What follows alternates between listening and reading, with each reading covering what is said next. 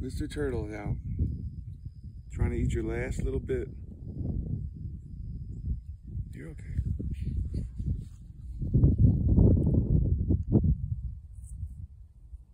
So cute.